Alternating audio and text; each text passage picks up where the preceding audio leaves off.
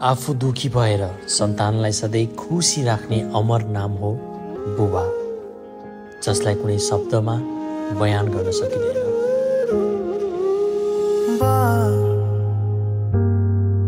तिमी फर्केर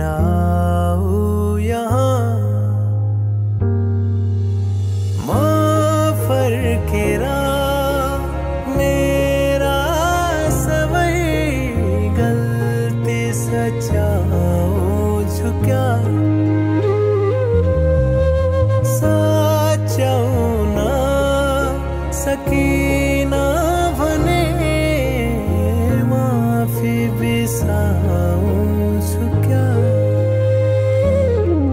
तर फर्केर आऊ यहाँ It's indeed a very pleasant moment. His father is the symbol of safety, security, and bravery.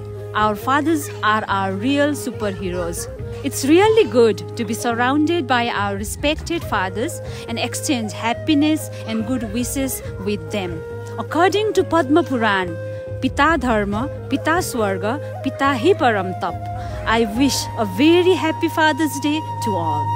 मलाई आकाश देखाउनलाई हिँड्यौ तिमी भुइँमा मलाई आकाश छोए जस्तो भयो तिम्रो भुइँमा म हट हट घोडा भन्दै तिम्रो ढाडमा चढिरहे स्थापना कालदेखि नै हामीलाई प्यारेन्ट्सहरूलाई बोलाएर यो बच्चाले यो संस्कार कसरी सिक्ने प्यारेन्ट्सलाई कसरी सम्मान गर्ने भन्ने जुन कार्यक्रमको एउटा बच्चाहरूलाई संस्कार सिकाउनु भएको छ यो एकदम धेरै खुसीको कुरा।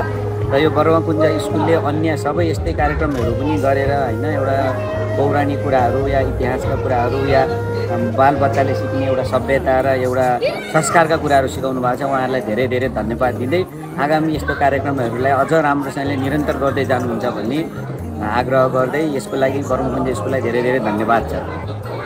म शिक्षा सदनलाई एकदम हृदयदेखि नै धन्यवाद दिन चाहन्छु। यो भनेको बच्चाहरूलाई संस्कार सिकाएको संस्कारयुक्तै शिक्षा दिएको छ ब्रह्मकुञ्ज म त यो ब्रह्मकुञ्जप्रति गर्व गर्छु। म ओडाएसीको हैसियतले पनि ब्रह्मकुञ्ज शिक्षा सदनलाई हृदयदेखि धन्यवाद दिन चाहन्छु। यो सधैँ निरन्तरता रहिरहोस् यो काम सधैँ रहिरहोस्।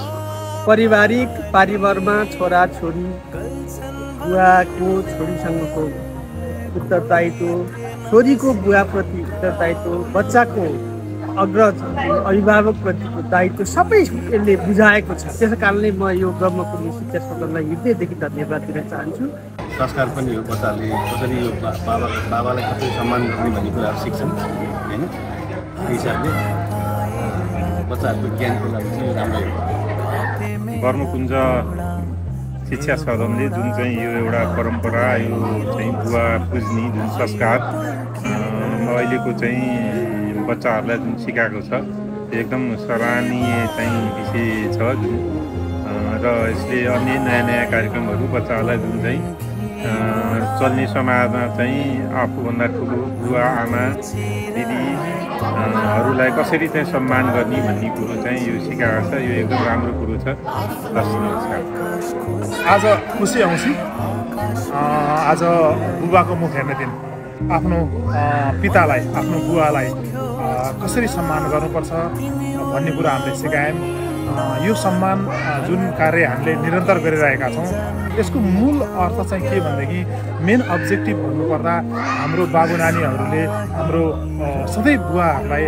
आफ्नो पितालाई मानोस् सम्मान गर गरोस् र आफूबाट टाढा नराखो नराखोस् भन्ने हिसाबले यी कार्यक्रमहरू हामीले वार्षिक रूपमा गर्ने गरेका छौँ।